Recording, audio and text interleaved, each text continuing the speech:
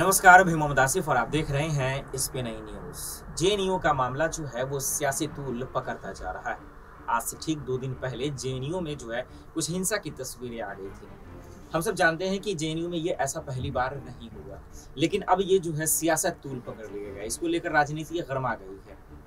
तो अलग अलग नेता अपनी अपनी राय दे रहे हैं। बीजेपी कह रहा है, इसका कसूरवार राहुल गांधी है। राहुल गांधी जो है, इसको मोदी सरकार पर हमला कर रहे हैं।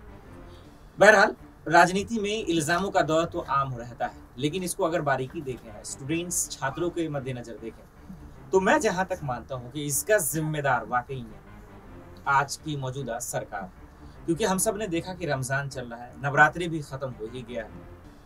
कौन आम लोग चाहता है कि आज जो है कोई मीट ना बेचे, कोई मुर्गा ना बेचे, कोई चिकन ना बेचे? कोई नहीं चाहता आम लोग। सब चाहता है कि एक दूसरे का रोज़गार रहे, एक दूसरे खरीदे, उनके में बरकत हो और उनका पेट चले। लेकिन राजनीति, नेता करने वाले लोग अपनी राजनीति रोटियाँ सेकने के लिए लोगों को इसकी आग में झोंक देते हैं। और वही जो है बरगलाते हैं कि कोई मीट नहीं बेचेगा तो कोई कोई।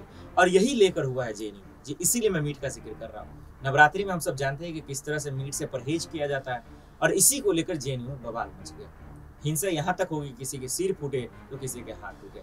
अब इसको लेकर राहुल गांधी का बड़ा बयान है। राहुल गांधी ने कहा कि इसका जिम्मेदार मोदी सरकार और वो इसलिए क्योंकि आज के देश में जिस तरह से देश में जिस तरह से नफरतें फैलाई जा रही हैं, वो भी काम बीजेपी के नेता कर रहे हैं और जिस तरह से हिंसा हो रही है, उसका भी जिम्मेदार बीजेपी तो अब देखना ये होगा कि आखिर जिस तरह से छात्र फंसे हुए हैं आज सवाल ये भी कि आखिर ये ऐसा जहर आ गया हिंदू मुस्लिम वाला कि आज हिंदुस्तान के कोने कोने में चला गया। ये नई भारत है, नई भारत आप लोगों को मुबारक हो, लेकिन आप दर्शकों से मेरा सिर्फ़ एक ही रिक्वेस्ट है कि आप नेताओं के चक्कर में ना आए। हिंदू मुसलमानों का जो एक मिसाल है हमारे हिंदुस्तान में बहुत अच्छा है। हमारे हिंदू मुसलमानों के बीच में कोई जहर नहीं उनके बीच में कोई नफरत नहीं है।